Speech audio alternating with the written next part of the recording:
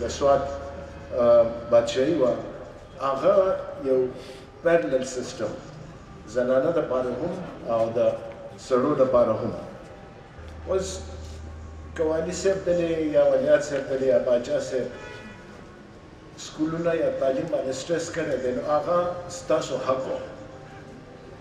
لکه څه احسان نه وو، ځکه هغه خو حکمرانان وو، د هغوی سره قوت او طاقت وو، نو هغوی دا فیصله کولای شوه چې موږ خپل د سوات عوام چې کوم دی هغه داسې سپریسډ وساتو، بې تعلیمه او خپل دا حکمراني چې ده دا نوره مضبوطه کړو یا دوی له تعلیم ورکړو، نو په دې لحاظه.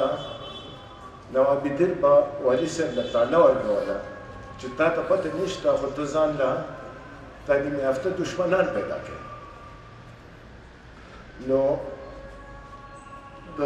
سکولونو ثبوت خو خیر هر کلي ته چې لاړ شي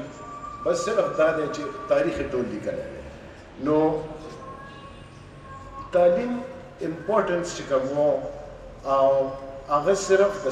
سوات د عوام لپاره نه وو هغه زموږ په کور کې هم وو نو موږ چې لویدو زما مور لکه تاسو ته به پته وي چې اده بهر وه خو هغې دا سوچ وکړو چې دلته د ماشومانو لپاره د سټنډرډ انګلش تعلیم نشته اوس تاسو به لږ سوچ کوئ چې انګلش وس د انګریزانو ژبه نه ده جی انګلش وس یو انټرنیشنل کوډ دی د کانډاکټ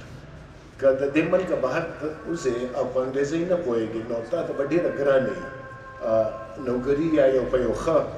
پیشې کې ننوتل نو هغې خپل کوشش وکړ والدې صاحب نه اجازت واخیستو او پبلک سکول سنګوټه اسټابلیش شو نو هغه ولنې سکول وه چې صرف زه نه خو زموږ د کور چې کوم مکمل سټاف وو او حسین خان استاد صاحب او پیر محمد استاد صاحب موږ به ټول په یو وین کې کېناست وو موږ به یو ځای تلو نو شروع کې د خلکو لږ فکر و چې دا انګریزان به راځي انګریزي تعلیم به ورکوي دې ماشومان لوی کېدای شي عیسایت طرف ته یې بیایي خو داسې خبره نه وه. نو هغه سکول اولنی سکول وه چی یو فاونډیشن وه د اعلی انګریزی تعلیم